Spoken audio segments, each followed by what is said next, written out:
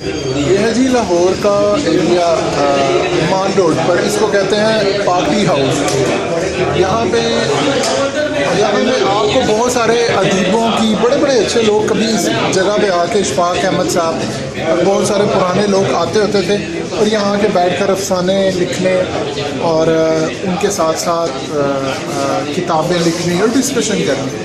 تو یہاں پہ آپ کو ہر طرح کا لوگوں کے بڑے بڑے لوگوں کے آپ کو رائٹرس جتنے بھی یہاں پہ پاکستان کے اچھے اچھے گزرے ان کا ملتا ہے۔ لیکن اس کے ساتھ جو چیز یہاں نظر آتی ہے، جس کو دیکھ کر ہر انسان کا خون کھولنے لگتا ہے، وہ آپ یہ دیکھیے، یہ پارٹی ہاؤس ہے، پڑھے لکھوں کی جگہ۔ اور یہاں پہ نام لکھا ہے جی میاں محمد نواز شریف کا۔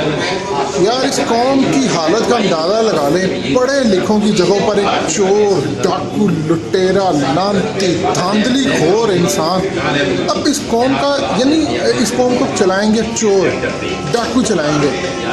یہ بے شرم قوم ہے۔ شاید یہ قوم بھی بے شرم ہے، جن کو دل تو کرتا ہے اس کو یہاں سے توڑ دو، اس پلیٹ کو، نمبر کو۔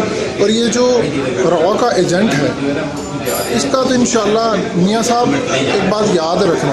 خدا کی لاٹھی بڑی بے آواز ہے ایک وقت تھا کہ پنجاب آپ کا قلعہ تھا۔